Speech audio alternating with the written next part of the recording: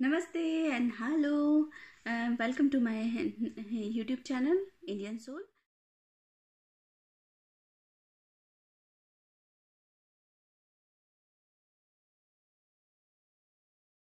um, इस series में सबसे फ़र्स्ट पॉइंट ये है कि यदि आप इंडिया में रहते हैं तो आप जर्मन कैसे सीखें सो so, यदि आपको कोई भी लैंग्वेज सीखनी है आपको चार स्किल्स के ऊपर काम करना है इन स्किल्स को आप समराइज करने के फॉर्म में कह सकते हैं L S R W skills so L is for listening S is for is for reading and um, w is for writing.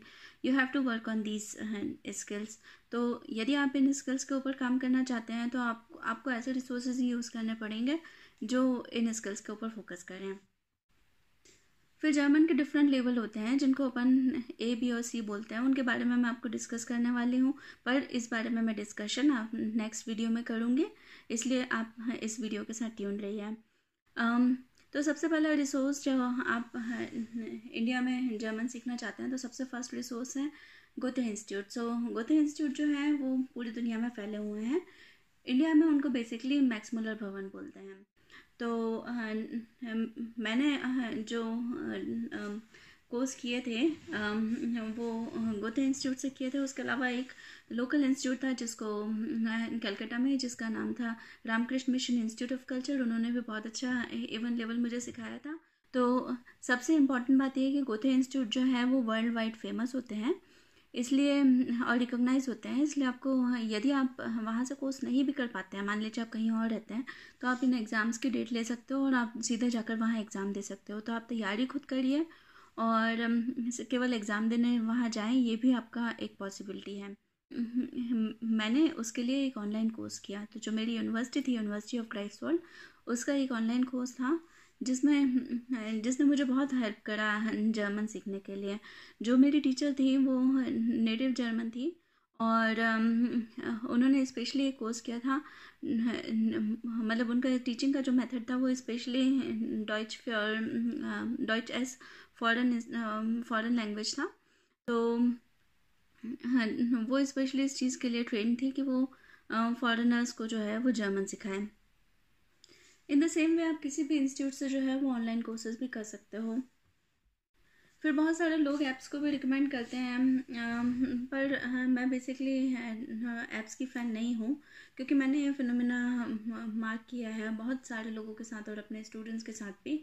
कि यदि आप ऐप से जर्मन सीखते हो तो आप एक पर्टिकुलर लेवल में स्टक रह जाते हो और इन्फॉर्मेशन जो है वो रिपीट होना शुरू हो जाती है। और आप डिस्ट्रैक्ट भी बहुत जल्दी हो जाते हो लोगों से चैटिंग करने में और जब भी आप अपना स्मार्टफ़ोन उठाते हो या अपना कंप्यूटर उठाते हो, किसी वेबसाइट में देखते हो तो you get distracted very easily तो इसलिए ऐप्स को मैं प्रेफर नहीं करूँगी, इसलिए यहाँ मेंशन भी नहीं कर रही हूँ। पर एक वेबसाइट जो बहुत ही वैल्यूबल रिसोर्स है जर्मन सीखने के लिए, वो है Deutsche Welle so far it's the best website तो इस वेबसाइट में आपको जो है वो स्लोली स्पोकन न्यूज़ भी मिलेगी और नेटिव स्पीकर आपको जर्मन सिखा रहे हैं डॉइचे वाले के जो है उसमें डिफरेंट लैंग्वेजेस हैं और um, कोई भी आप जैसे न्यूज़ वगैरह पढ़ते हो वहाँ पे तो उसकी आपको जर्मन मैन्यूस्क्रिप्ट मिल जाएगी। तो इस तरह से यदि आप डॉइचे वाले को यूज़ करते हो तो आप लिसनिंग और रीडिंग और स्किल के ऊपर बहुत अच्छे से फोकस कर सकते हो। देन आई वुड से कि यदि आप जर्मन सीखना चाहते हो तो कभी भी बिना बुक के मत सीखो।